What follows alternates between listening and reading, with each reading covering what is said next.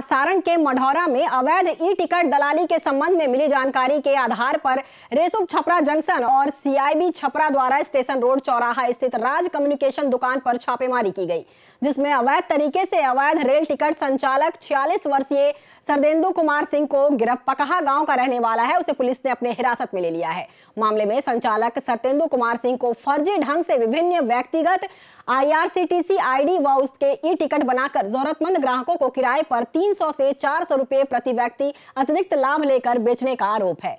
छापेमारी में कुल 50 पर्सनल और एक एजेंट आईडी रखने की जानकारी मिली है।